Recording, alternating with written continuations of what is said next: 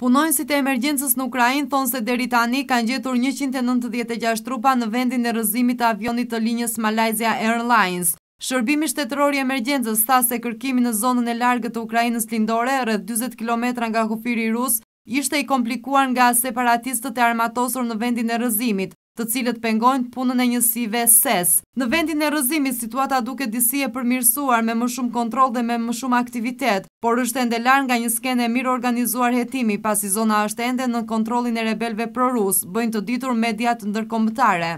Të paktën njëqind e gjashtëdhjetë trupa janë ngarkuar në karroca hekurudhore në frigoriferë në qytetin e afërt të mbajtur nga rebelët në Torez, thonë zyrtarë të OSBE-së, Por është e paqartë se kush po e mbikëqyr këtë proces dhe ku po dërgohen trupat e viktimave. Zëdhënësi i Këshillit të Sigurimit të Ukrainës tha se rebelët pro-rusë nuk po u tregojnë autoriteteve ukrainase se ku po i çojnë trupat e pasagjerëve të Malaysia Airlines. Dyqind e nëntëdhjetë e tetë persona ishin në bordin e avionit, i cili u godit të enjten nga një raketë mbi një zonë të mbajtur nga rebelët pro-rusë në rajonin e Donetsk. Vendet perëndimore kanë kritikuar kufizimet e imponuara nga rebelët në vendin e rrëzimit të avionit dhe i kanë kërkuar Rusisë që të bëjnë presion mbi ta për të lejuar hetim të plotë si dhe autopsi për viktimat.